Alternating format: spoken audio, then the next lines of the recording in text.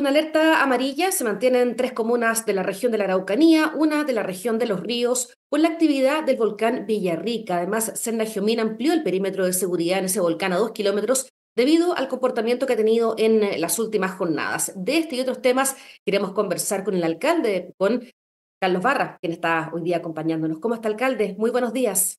Muy buenos días, Gabriela. Gusto saludarla. Muchas gracias por, por, acompañarnos para hablar, bueno, justamente este revuelo que ha generado una gran explosión con emisión de material particulado registrada la semana pasada. ¿Cuál es la situación, alcalde, en estos momentos?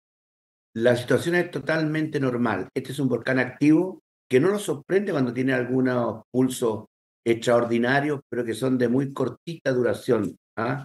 de un minuto, dos minutos, y de ahí vuelve la calma pero el volcán es un volcán activo. Entonces, ese es el atractivo que tiene también. La gente no vendría a Pucón a ver un cerro muerto, viene a ver un volcán activo. Si eso nosotros estamos conscientes, pero sabemos convivir con el volcán, no hay problema en ese sentido. Claro, una alerta que se mantiene por lo menos desde el 2023 y usted dice que es una alerta que es precautoria en todo caso.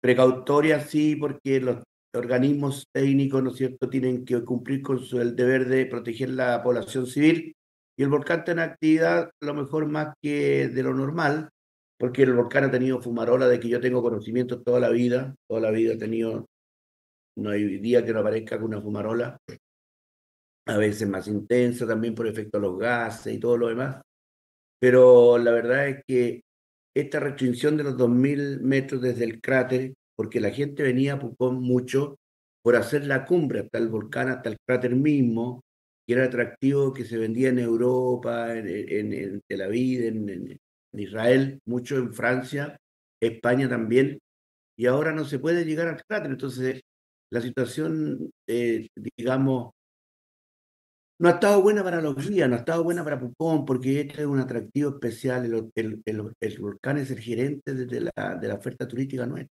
Mm. Pero vamos a tener que someternos a esta advertencia que nos ha hecho Sena Geomín. Pero si nosotros regulamos bien también el, el ascenso hasta los 2.000 metros, siempre hay interés, pero no lo que sería lo ideal. Usted dice entonces que esta alerta que han eh, puesto las autoridades, ya comentamos desde el 2023, están con alerta amarilla, complica el turismo y justamente el atractivo para que la gente vaya a Pucón?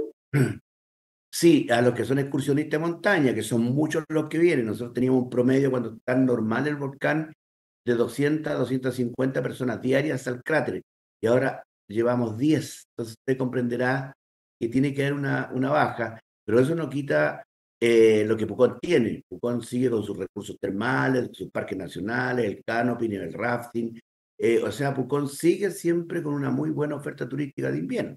Mm. Claro que sí. Este volcán tiene alta actividad. Eh, hemos dicho que es uno de los más activos de, de, Sudamérica. Lo que ocurrió, alcalde, la semana pasada no implica necesariamente que venga una erupción.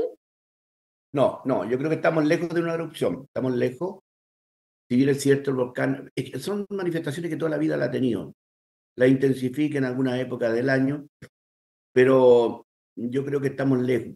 Pensábamos el año pasado que tuvo muchas más manifestaciones intermitente, pero no hubo nada. Entonces, no sé si el volcán eh, va a ser erupción, a pesar de que son los volcanes en el fondo y este eh, impredecibles, no saben en cualquier minuto, pero a diferencia de los temblores, terremotos, el volcán avisa, entonces la población civil quiere tomar precauciones, tiene tiempo de más. Mm. ¿Y eso está preparado, alcalde? O, le aprovecho de preguntar, ¿cuáles son los principales peligros o acciones a seguir en caso de que la actividad del volcán desencadene justamente en erupción? Nosotros, en primer lugar, tenemos todo acá preparado de verdad. Tenemos puntos seguros que están al lado de la ciudad, como en la península, que la población civil puede ir y evacuar caminando. Tenemos puntos seguros hacia el lado de los calabozos, para el lado del lago Caburgua, y tenemos otros puntos más seguros en el sector Candelaria Los Riscos. En caso de erupción, eh, si uno tiene la posibilidad de darse cuenta de inmediato, el, que los lahares, las avalanchas de agua por efecto de la nieve, lleguen al llano abajo, acá mismo, demora alrededor de una hora más. Así que hay tiempo de más para arrancar hacia Curarrego, hacia Villarrica, no, no, no hay problema en eso. Se han registrado además varios sismos en los últimos días, pero esto es, va muy asociado justamente con esta fumarola y es algo bien común también. Sí, los sismos que ocurren acá en el casco de Pucona eh, no tienen nada que ver con los sismos del volcán. Pueden haber una serie de sismos grandes en el edificio del volcán, pero acá no repercute. No se sienten acá mm. ¿Qué se podría hacer, alcalde, cuando usted dice que justamente esto está complicando el tema, el tema turismo? ¿Qué le podría decir usted a las autoridades? Hay algunas alternativas acá para los excursionistas, como el volcán Rucapillán, el Mocho que le llamamos nosotros, que está colindante con la República Argentina, que tiene también una buena excursión, pero no tiene las condiciones que tiene el Villarrica. La gente que viene de Europa y los grandes emisores de turistas que les gusta la montaña, vienen a, Pucón, vienen al sur por el volcán Villarrica. Mm. Y se produce un circuito virtuoso que la gente que llega de Europa baja por eh, Santiago, Pucón, eh, hace el volcán cuando está la cumbre normal y de ahí se van a Torres del Paine y hacen la, la, vuelta por la República Argentina. Porque no tienen ninguna otra oferta de, de, la calidad de la naturaleza que tiene el volcán Villarrica. Por eso le, pregunto, ¿qué, ¿qué, podría usted decirle a las autoridades, eh, justamente porque se ah, está complicando ahí el turismo con este tema? Bueno, aquí hay que atreverse a tomar una determinación de una decisión que nosotros hemos propuesto, pero es difícil tener eco eh, ante las autoridades científicas. El volcán se puede ascender al cráter cuando las condiciones lo permiten. Y eso lo saben muy bien los guías y las agencias de viaje. Porque lo que pasa es que está restringido, llevamos ya años restringido con la última alerta amarilla, y cuando hay gente que sube perfectamente en forma clandestina al cráter del volcán. Entonces, ¿qué es lo que pasa? Yo siempre he considerado que el volcán, su actividad, eh, como es predecible que se anuncia, es como el mar. Si yo tengo embarcaciones que salir a alta mar o la pesca, generalmente las capitanías de puerto dicen, hoy día no están las condiciones para subir, por lo tanto, no hay zarpe. Bueno, acá tendría que ser lo mismo, porque pasan semanas con muchas buenas condiciones y estamos cerrados. Entonces, si, si la gente eh, ve que a las 6 de la mañana o antes el volcán está tranquilo, suben con mucha tranquilidad. Ahora, si ya a esa hora ya tiene fumarola y tiene de, lanza ceniza, nadie va a subir. Pero dejémoslo abierto, por favor. Eh, no, no, no, no, no cerremos y porque pasan meses que no tienen necesidad de estar cerrados. Y eso ha perjudicado mucho el turismo internacional de Pucón. Entonces, ¿pero cómo lo hacemos? ¿Cómo convencemos? Porque dicen, no, pero que aquí esto en cualquier minuto puede hacer una erupción. No, en cualquier minuto, sí, pero el volcán avisa, avisa con mucha anticipación. Entonces, es igual que el mar, es igual. Si hay un alto oleaje ahí temporal, no autoriza las embarcaciones que salgan desde el puerto. Entonces, acá tiene que ser exactamente lo mismo. Mm. ¿Y, ha aumentado el turismo o la excursión clandestina, como usted dice, debido a esta prohibición? A pesar de todos los controles que tiene CONAF, que tiene la municipalidad, que Senapred, que también eh, colabora mucho en esto, eh, se produce, eso es imposible porque tiene muchos lugares donde usted puede ascender, ¿me entiende?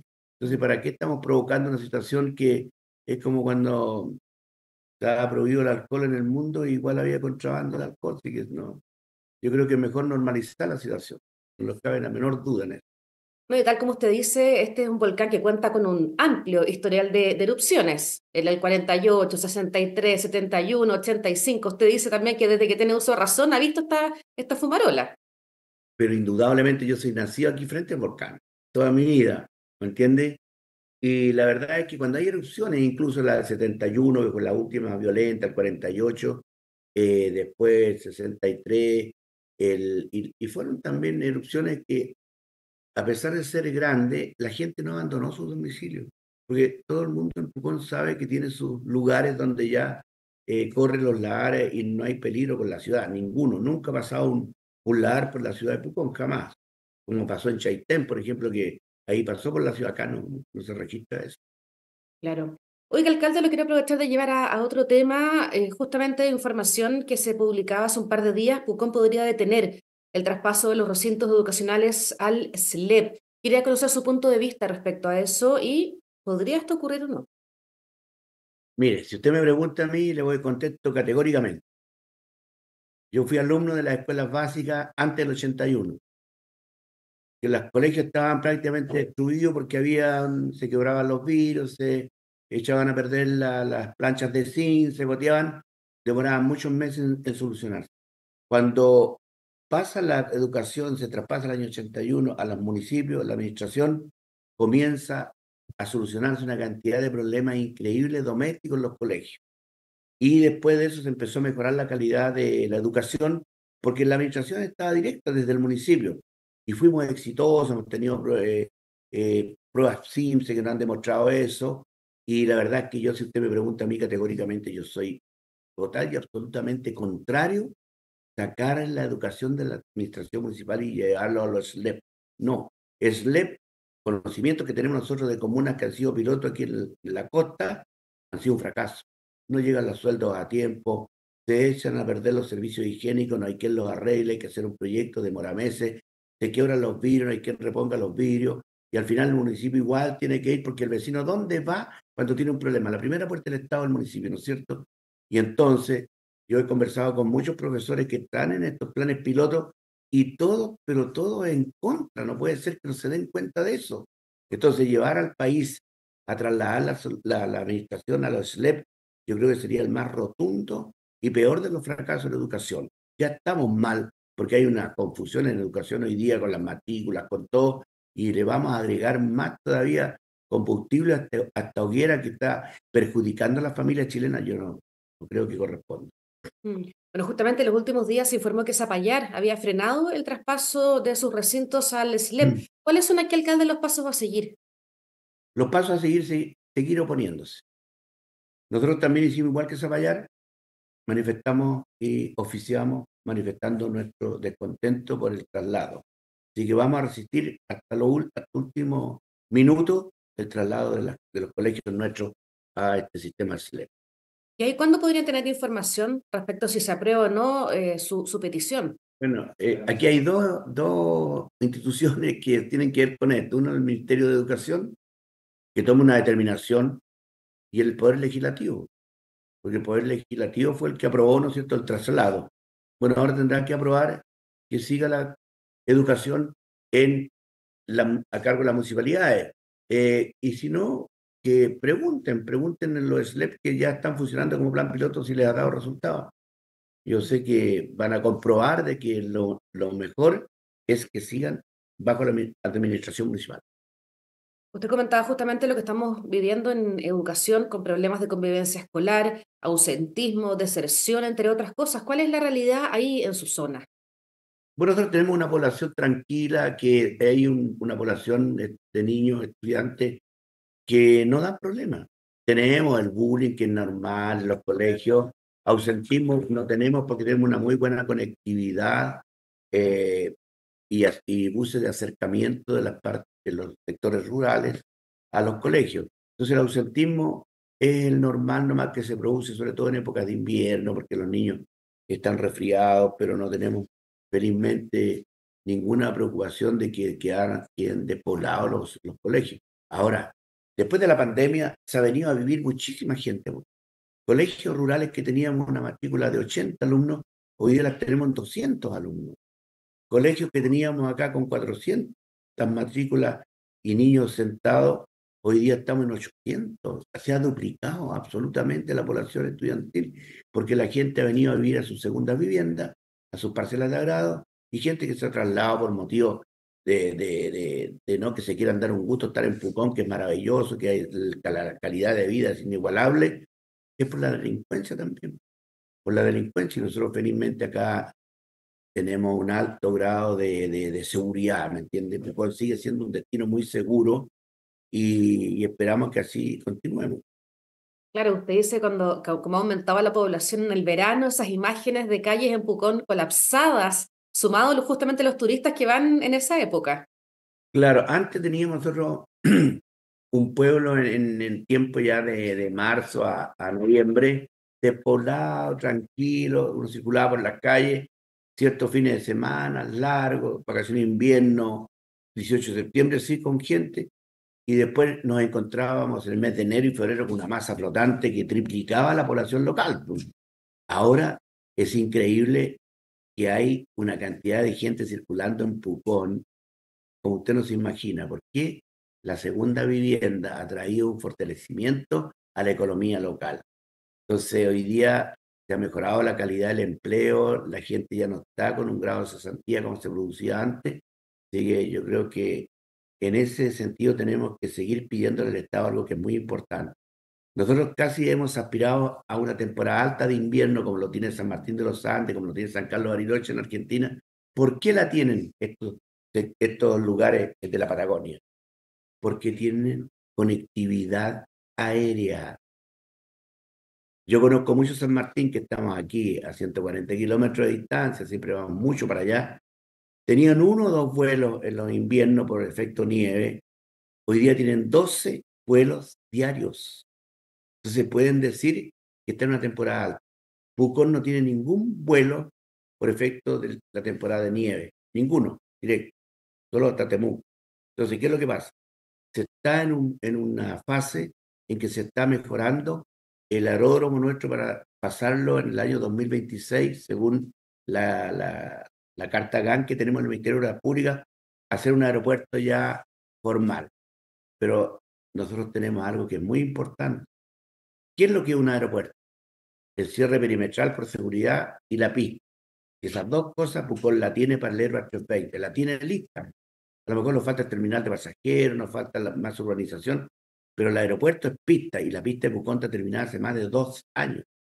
Entonces nosotros estamos perdiendo la oportunidad de que lleguen los brasileños y los grandes eh, eh, centros emisores de turistas de invierno vienen del Brasil y de Buenos Aires y de Colombia y de los Estados Unidos, pero no tenemos conectividad.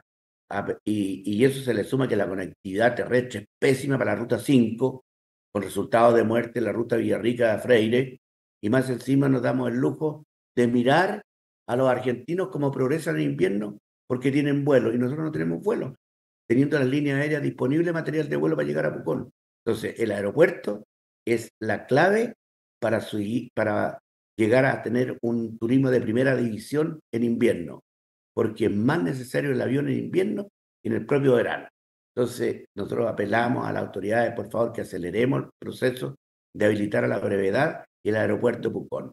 Hoy día Chile y la región de la Araucanía tiene la oportunidad de tener una oferta internacional, pero para eso hay que tener conectividad, porque yo saco nada con hacerle propaganda a mi sector, que es maravilloso, pero ¿cómo llegó a él? Hoy día, ¿cuál es el mercado más robusto que tenemos de turistas? La tercera edad, ¿no es cierto? Es lo más, los clientes que tenemos más a la mano. Y la tercera edad necesita conectividad. No puede andar transbordando de aeropuerto en aeropuerto para llegar a Pucón y que se convierta, en vez de un placer, en una expedición de aventura. Entonces, yo creo que ya está bueno que nos escuchen, por favor, que el aeropuerto Pucón es urgente para poder tener una temporada alta de invierno, provocar muchos empleos y mejorar la calidad de vida de todas las personas. Perfecto, alcalde. Le queremos dar las gracias por su tiempo. Gracias a usted, muy amable. Cuando usted lo disponga, estaremos atentos. Muchas gracias. Muchas gracias. Buenos días. y todos ustedes invitados a seguir aquí con nosotros en emol.com.